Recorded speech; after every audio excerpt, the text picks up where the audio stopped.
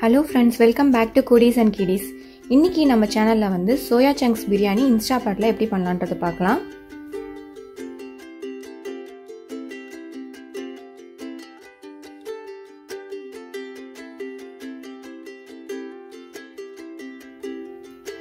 பிரியாணி பண்ண தேவையான பொருட்கள்லாம் இங்கே எடுத்து வச்சுருக்கேன். என்னென்னன்றதை பார்த்துடலாம். ஒரு கப் பாஸ்மதி ரைஸை வந்து அலசி ஊற வச்சு வச்சுருக்கேன். ஒரு கப் சோயா சங்க்ஸை வந்து பாய்லிங் வாட்டரில் போட்டு அதை வந்து ஒரு ஃபிஃப்டீன் மினிட்ஸ் போல் வச்சுட்டு அதை தண்ணியை வந்து ஃபில்டர் பண்ணி இதில் வந்து உப்பும் மிளகாய் தூளும் போட்டு மிக்ஸ் பண்ணி வச்சுருக்கேன். இது கொஞ்சம் நேரம் ஊறட்டும். ரெண்டு பெரிய வெங்காயத்தை வந்து ஸ்லைஸ் ஸ்லைஸாக கட் பண்ணி வச்சுருக்கேன். ஒரு தக்காளியை வந்து ஸ்லைஸாக கட் பண்ணி வச்சுருக்கேன்.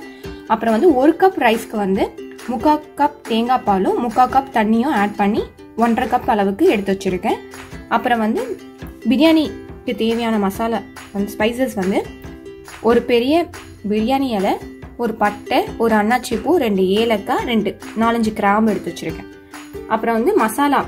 நம்ம இஞ்சி பூண்டு பேஸ்ட் அரைப்போம் இல்லையா? அதுக்கு பதில் இஞ்சி பூண்டு மிளகாய் அப்புறம் வந்து ஒரு சின்ன குட்டியாக ஒரு வெங்காயம் எடுத்திருக்கேன். அப்புறம் வந்து கொஞ்சம் புதினா ஒரு நாலஞ்சு புதினா இலை கொஞ்சோண்டு கொத்தமல்லி எடுத்திருக்கேன். இதை ரெண்டுத்தையும் வந்து நம்ம அரைச்சி எடுத்துக்கலாம். அப்புறம் நெய் வந்து தேவையான அளவு. பிரியாணியில் போடுறதுக்கு வந்து கொஞ்சம் புதினா கொத்தமல்லி எடுத்து வச்சுருக்கேன். ஒரு அரை எலுமிச்சை பழத்தை கட் பண்ணி வச்சுருக்கேன். அப்புறம் வந்து எண்ணெய் ஒரு டேபிள் ஸ்பூன் உப்பு தேவையான அளவு மஞ்சத்தூள் கொத்தமல்லி தூள் இதெல்லாம் எடுத்து வச்சுருக்கேன். இப்போ எப்படி பண்ணலான்றது பார்க்கலாம். நான் வந்து இன்ஸ்டாவோட ஆன் ஆன் பண்ணிட்டேன். சாட்டே மோட் வச்சுருக்கேன். இதில் வந்து இப்போ வந்து ஒரு டேபிள் ஸ்பூன் அளவுக்கு ஆயில் ஆட் பண்ணிக்கலாம். ஒரு டேபிள் ஸ்பூன் அளவுக்கு கீ ஆட் பண்ணுறேன் இது கொஞ்சம் ஹீட் ஆகட்டும். ஆயிலும் கீயும் வந்து ஹீட் ஆயிடுச்சு. இதில் வந்து நம்ம எடுத்து வச்சிருந்த ஸ்பைசஸ்லாம் ஆட் பண்ணிடலாம்.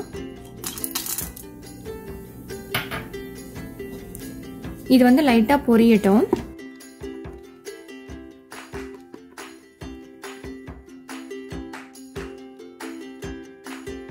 இப்போ ஸ்பைசஸ்லாம் வந்து நல்லா பொரிஞ்சிருச்சு. இப்போ வந்து இதில் வந்து நம்ம எடுத்து வச்ச ஒரு ரெண்டு ஆனியன் ஸ்லைஸ் பண்ணி வச்சுருந்தோம் இல்லையா? அதை ஆட் பண்ணிக்கலாம்.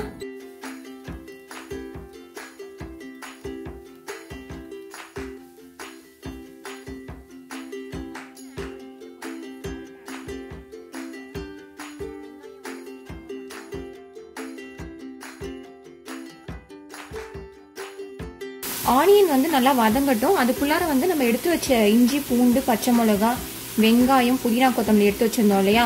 அதெல்லாம் வந்து அரைச்சி எடுத்துக்கலாம். வெங்காயம் நல்லா வதங்கிடுச்சு. இதில் வந்து நம்ம அரைச்சி வச்ச மசாலாவை வந்து இதில் ஆட் பண்ணிடலாம். அந்த ராஸ்மல் போகிற வரைக்கும் நல்லா வதக்கிக்கோங்க இந்த மசாலாவை. அந்த மசாலாலாம் வெங்காயத்தோட சேர்ந்து நல்லா வாசனை வருது. இது வந்து அந்த ராஸ்மல் போகட்டும். நம்ம வந்து தக்காளி ஆட் பண்ணிடலாம். இப்போ வந்து நம்ம தக்காளி ஆட் பண்ணிடலாம். தக்காளி வந்து நல்லா வதங்கட்டும்.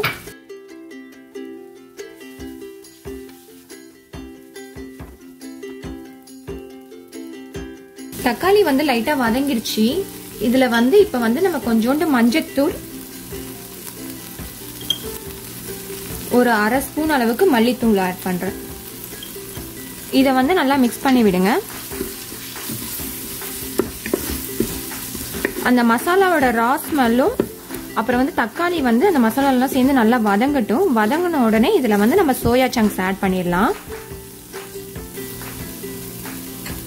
சோயா சங்க்ஸ் ஆட் பண்ணுறதுக்கு முன்னாடி இதில் வந்து புதினாவும் கொத்தமல்லியும் ஆட் பண்ணிடுறேன்.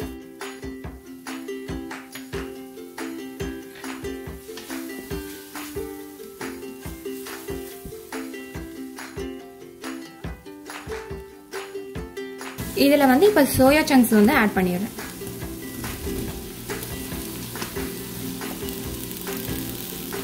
இதை நல்லா கலந்து விட்டுக்கோங்க.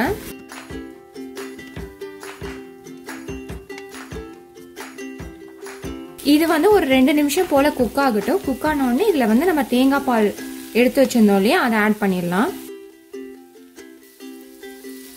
ரெண்டு நிமிஷம் ஆயிடுச்சு. இப்போ வந்து இதுல தேங்காய் பால் ஆட் பண்ணிடலாம்.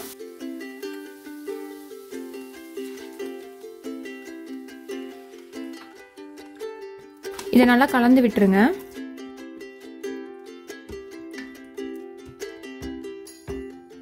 இப்போ வந்து உப்பு எவ்வளோ தேவையோ அந்த அளவுக்கு ஆட் பண்ணிக்கோங்க. நம்ம ஏற்கனவே வந்து சோயாவில் உப்பு ஆட் பண்ணியிருந்தோம். வெங்காயம் வதக்குறப்பையும் உப்பு ஆட் பண்ணியிருந்தோம். ஸோ வந்து இப்போ சால்ட்டோட அளவு செக் பண்ணிவிட்டு எவ்வளோ சால்ட் தேவையோ அவ்வளோ அளவுக்கு ஆட் பண்ணிக்கோங்க. நான் வந்து இப்போ வந்து இதில் தேவையான அளவு உப்பு ஆட் பண்ணிட்டேன். இது லைட்டாக கொதிக்க ஆரம்பித்த உடனே இதில் வந்து ரைஸ் ஆட் பண்ணிடலாம் நம்ம. இப்போ வந்து கொதி வர ஆரம்பிச்சிருச்சு. இதில் வந்து நம்ம எடுத்து வச்ச ரைஸை வந்து ஆட் பண்ணிடலாம்.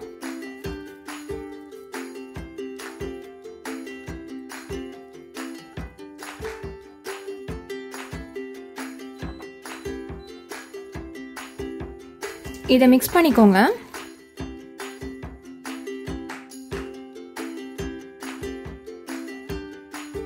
இதில் நம்ம எடுத்து வச்சிருந்தோம் இல்லையா? எலுமிச்சப்பழம் அதை வந்து புழிஞ்சு எடுத்துடலாம். புழிஞ்சு விட்டு மிக்ஸ் பண்ணிக்கோங்க. இந்த ஸ்டேஜில் வந்து நீங்கள் புதினா கொத்தமல்லி தேவைன்னா நீங்கள் மேலே ஆட் பண்ணிக்கலாம்.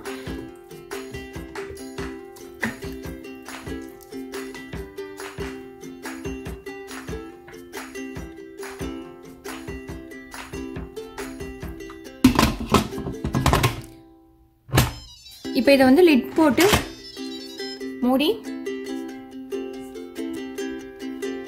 ப்ரெஷர் குக்கில் ஹை ப்ரெஷரில் நாலு நிமிஷம் வைக்கிறேன். ஸ்டார்ட் பண்ணிடலாம்.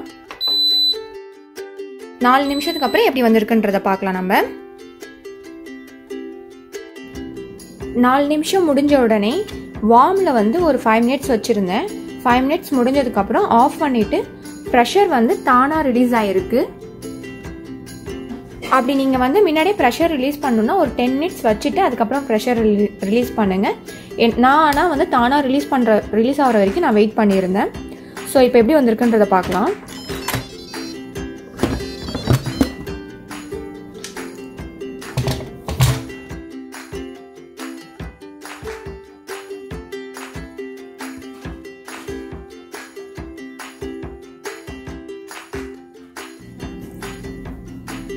நல்லா பொல பொலன்னு சூப்பராக ரெடி ஆயிருக்கு. சோயா சங்க்ஸ் பிரியாணியை வந்து ஆனியன் ரைத்தா சிப்ஸோட வச்சு சாப்பிட்டிங்கன்னா ரொம்ப நல்லாயிருக்கும்.